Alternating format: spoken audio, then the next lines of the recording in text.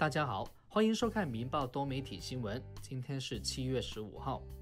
加拿大方面认可混合疫苗接种，但旅游胜地认定混合接种人士并没有完全接种疫苗，这导致安省的一对新婚小夫妻只好取消前往此地度蜜月的计划。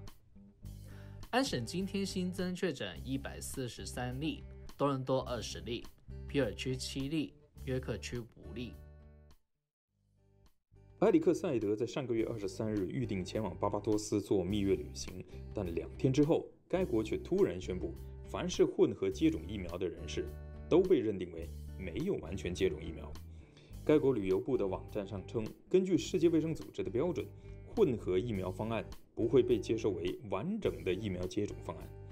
未被认可为完全接种疫苗的人士，虽然还是可以访问巴巴多斯，但他们将面临严格的限制，包括长达八天的隔离期。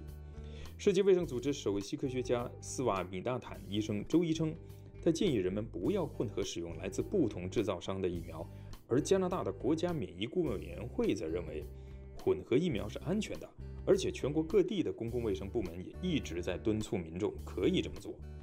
如今，赛德被迫改定去多米尼加共和国度蜜月。他希望 G20 国家能够就此问题做出决定。总理杜鲁多周三表示，他正在与其他国家合作，以确保对完全接种疫苗的加拿大旅行者有保持一致的规定。本周五，安省重开经济进入第三阶段，准许室内健身房、文体活动中心等有限度重开。记者。探访华人经营的几间羽毛球馆，商家们都为重开做好充分准备。重开经济第三阶段后，也准许餐馆有限度打开堂食服务。位于石家堡美兰中心广场的一间华人餐馆表示：“你看，我外边露天茶座已经客满，还有人在等座。明天堂食开放就好了。我们计划晚上打扫卫生，摆放桌椅，准备堂食开业。”白天哪有时间啊？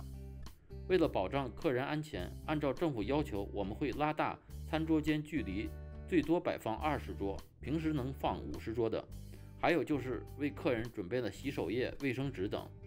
至于疫苗接种，我们的店员都打了疫苗，但要求客人出示疫苗接种证明，我认为这样做不妥。另间规模不大、经营特色食品的华人餐馆表示，我们非常渴望打开堂食。你看，我店前的露天茶座只能安排两个餐桌。明天堂食开放后，就可以接待更多客人。位于万锦十四号公路加坚尼地路地区的一间华人羽毛球馆表示，终于可以开业了。疫情对我们打击非常大，羽毛球占地大，房租较高，要不是有政府资助，我肯定撑不下去。位于石家堡的一间羽毛球馆可能已经永久关闭，因为有许多。住在那边的羽毛球爱好者纷纷转到我这里来。这名羽毛球馆负责人还说，为了确保场馆安全，我们除了按照政府规定要求客人进入时戴口罩、进行体温检测、留下联系信息，以及为客人准备消毒洗手液等，还把散客的开放时间集中安排在上下午两个时段，避免陌生客人之间的接触。另外，每一波客人打完后会及时对场地设施进行消毒。至于是否要求客人出示疫苗证明，我不想这么做，因为没有这个权利。我们已把政府的有关防疫要求贴在入口处。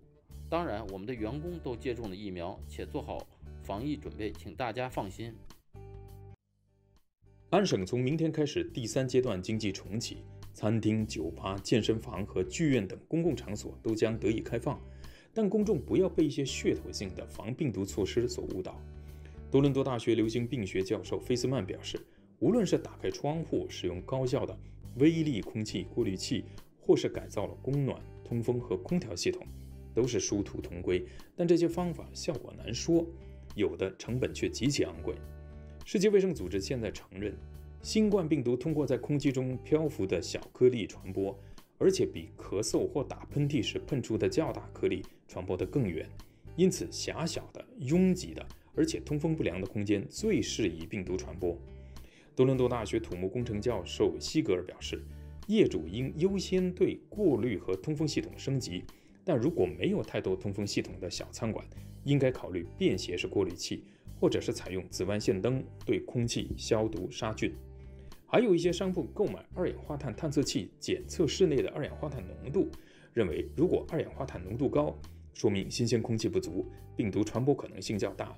对此种方法，许多专家不认同，因为二氧化碳的指数并非空气中病毒含量的指数。随着全球经济走出新冠疫情，开始逐渐复苏。消费者越来越多地体验了缩水式通货膨胀对他们的荷包所产生的影响。缩水式通货膨胀指的是将货品容量或体积缩减，是一种减量不加价的隐性加价手法。鉴于食品价格和运输开支的上涨，有关缩水式通货膨胀的报告正在增加。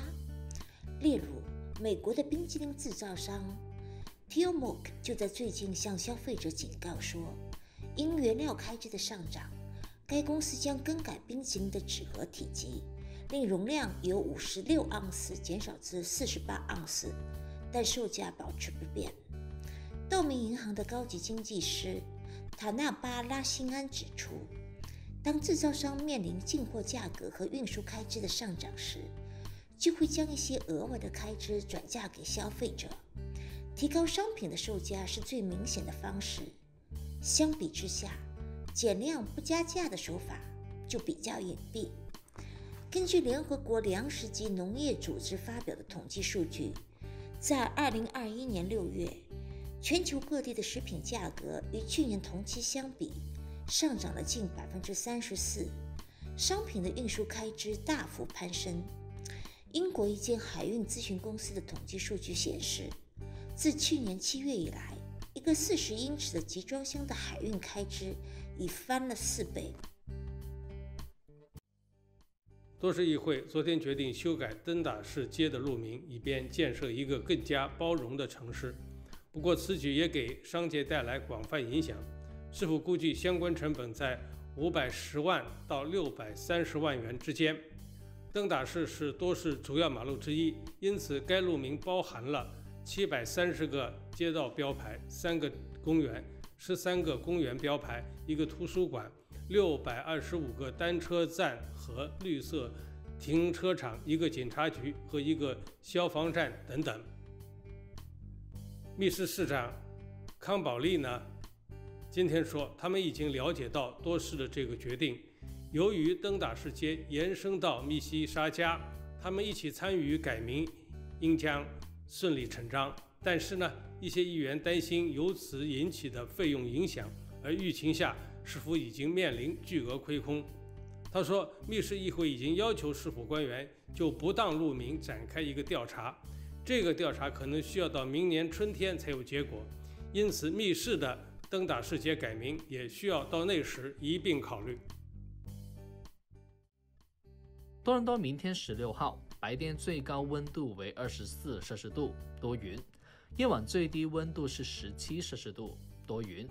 今天的新闻已播报完，感谢收看，明天见。